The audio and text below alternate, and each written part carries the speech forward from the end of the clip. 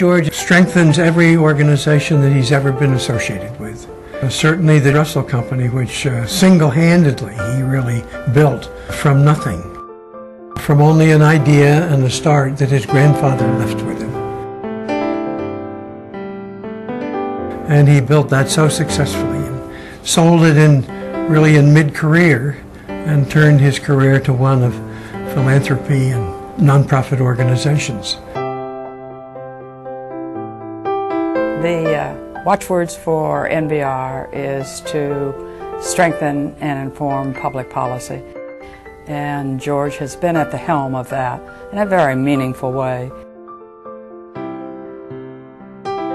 His whole spirit is one of, of cooperation.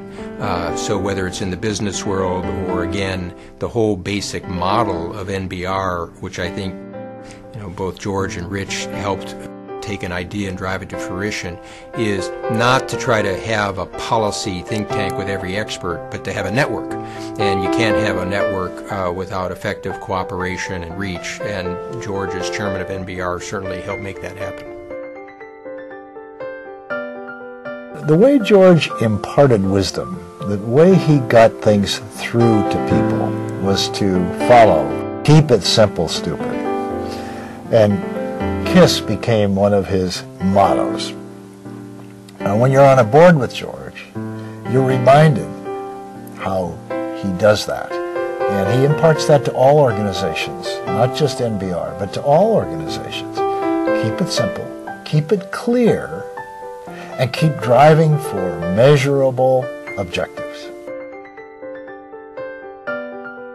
Everything that George touched materialized. So, in our many conversations about uh, the Soviet Union, something that he was very interested in, or about China, which he was very interested in, um, I was always impressed that uh, George, as someone who was not expert on those places, always knew the details. Uh, he he had a kind of uh, deep understanding, a desire for deep knowledge. And uh, that was more like being with academics. That was one of the wonderful things about George. The two words I would associate with George more than any other are energy and enthusiasm, but I have to quickly add integrity, so I guess that's three. His energy and enthusiasm are infectious. When he comes into a room, it's like you have a whole dose of oxygen, so it just gives sort of an infectious sense of energy and purpose.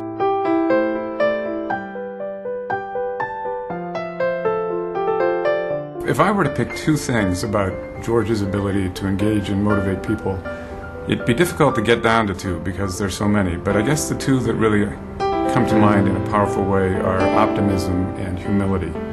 On the one hand, George is somebody who believes very deeply in the power of ideas to promote positive change. And yet he does it with complete absence of arrogance or a sense that he has all the answers. There is this sense of real humility against very big challenges. And these two things together are very, very rare and quite inspiring. The 2020 is just one element, kind of one little bit of the world George opened our eyes to and brought us into. There were people, uh, there were activities, there were particular issues um, that we would discuss on the board. George would take an interest or come up with the idea himself. He loved to have great people on the board. We attracted Bob Zoellick, Jon Huntsman, uh, John Shalikashvili. And so these are, these are the kinds of people that came on and our world as a consequence just expanded exponentially. Dealing with somebody like George, you are able to say to yourself, well, is my idea a good idea? In other words, uh, I'm planning to do this in Southeast Asia. Well, George is planning to do this in Russia. Uh, he's, he's got these questions. I'm, I better have the same questions, so maybe I better go dig around. So um, I think in strengthening a resolve and um, in maintaining the integrity of, uh, of ideas, he certainly has influenced, I think, probably anybody around him. George conveys to everyone a sense of warmth, uh, decency, uh, and, and integrity. And I think that is one of his most sterling attributes that frankly, other people build on. And any organization that he's with, uh, like NBR or I'm sure in the private sector, uh, can connect with that. But then, in addition, you know, he's a person who is fascinated with ideas, uh, with other cultures. Um, and I think he's always encouraged others to try to broaden their horizons. So you, if you combine the most basic human decency with somebody uh, that has uh, an intellect that's always searching and trying to understand more about others and conveys that to others, you couldn't ask for a better person uh, in terms of uh, an international organization like NBR. Because he's a man of so many talents and a man of wide scope in the things he does. One of the very few people uh, who has done extremely well in business, been very successful in business, and also extremely well in the philanthropic part of his life where he's headed and led so many fine organizations, uh, NBR, of course, being among the very first ones and among the very most important to him. And then as the company started traveling around the world in the 2020, he realized in terms of a bigger vision that the human race had to resolve. And so he got active in the National Bureau of Asian Research. He got involved in the East-West Institute. He's working now on a project called One Nation. And uh, a lot of people, when they're talking about his Uh, philanthropy, and they say, well, you know, how come you've moved from some of these local projects to these big projects? And he said, we're not going to have a local anything if we can't resolve this big issue. This world will end in a final world war. And so we just have to get up and get going on this project. And that's what, that's what he's done in great measure. There's no question that my principal intersection with George has been the Pacific Health Summit, where he and his crew have developed this wonderful program, which is just successful off of the charts, and it's doing really marvelous things in gathering people from uh, poor countries together to talk about health reform, health advancement. We think of it as being a really, maybe spectacular is not too big a word for uh, uh, for a for a contribution to the to the work in global health. Was George funny? No, that said, he wasn't a funny person. I mean, he didn't try to try to be a funny person.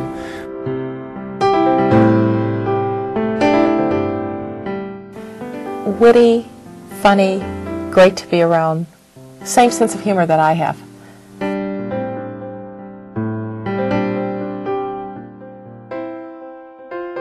George is prone to have sneaky smiles. He doesn't just let them out too easily. But when he does, it's really great. It's very, it's very charming. There are some people who smile for the camera. Never George. His smiles were always kind of, kind of that interior smile. The Mona Lisa of, of business. George does not have what I would call a conventional sense of humor. And it comes in at just the right moment when there's the need to diffuse something or attention or just an observation. It really is uncanny. Did I ever see my dad do something goofy? George is not goofy. I'm not sure that I've ever seen him be goofy. Then they really haven't been out on a boat with George because he does a lot of goofy things. Doing cannonballs off the flybridge, maybe.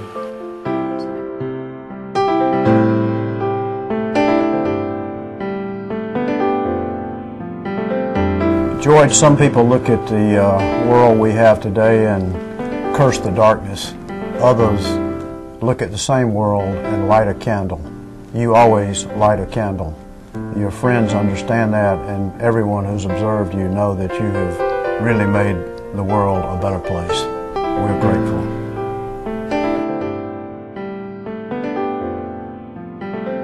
George, our lives are the richer for you just being here. Thanks very much.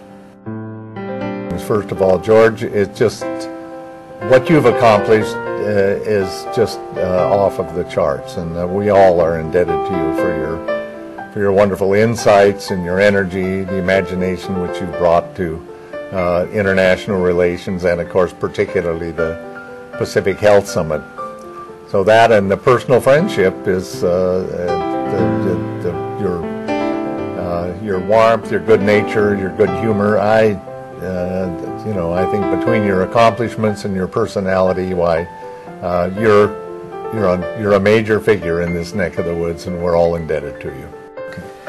George, it's been a pleasure to reflect on your great leadership and to tell you tonight with my heartfelt gratitude how many of us here have watched you over 15 years help create the great institution that NBR can claim. Your work, your compassion, your wisdom, and frankly, your pushing has taken this institution a long way. And those of us here are here to tell you how proud we are and how pleased we are to honor you tonight. Congratulations, my friend.